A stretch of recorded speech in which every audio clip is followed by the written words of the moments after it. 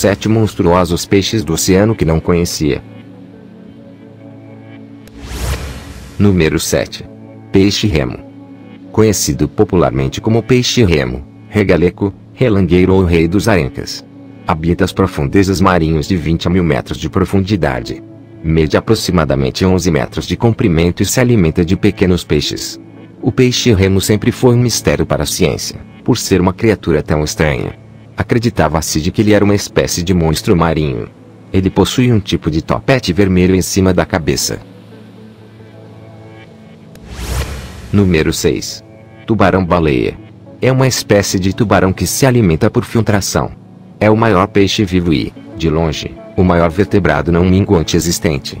O maior indivíduo registrado tinha um comprimento de 12,65 metros e um peso de cerca de 21,5 toneladas.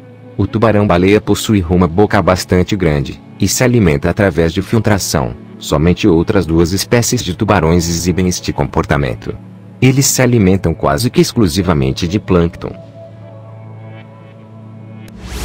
Número 5. Peixe serra.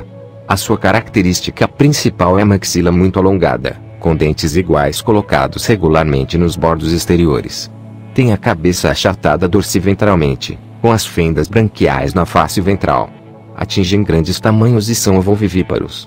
Os peixes serra são encontrados em áreas costeiras tropicais e subtropicais de todos os oceanos.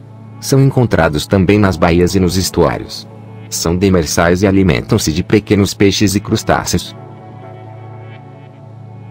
Número 4. Tubarão martelo. As espécies conhecidas variam de 0,9 a 6,0 metros de comprimento e pesam de 3 a 580 kg. Eles geralmente são cinza claro e têm um tom esverdeado.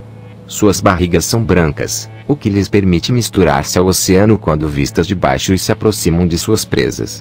Suas cabeças têm projeções laterais que lhes dão uma forma de martelo.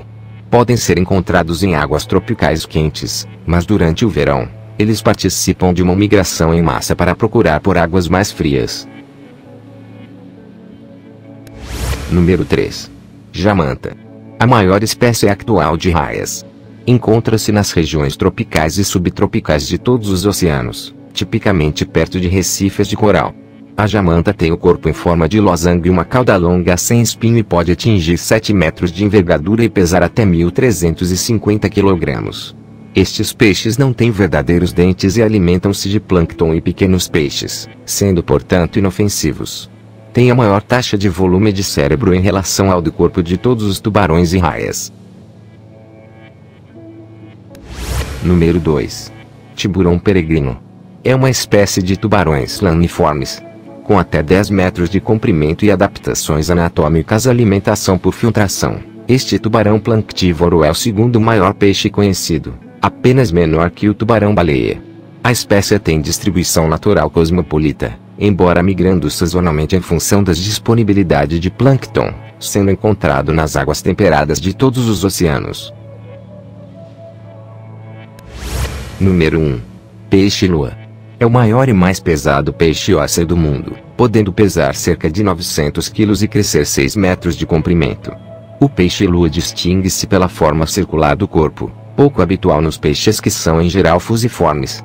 Esta espécie não tem barbatanas caudais e a locomoção é feita pelo movimento conjugado das barbatanas dorsal e anal. O peixe-lua habita as zonas temperadas e quentes dos oceanos Atlântico e Pacífico e alimenta-se de zooplâncton e pequenos peixes.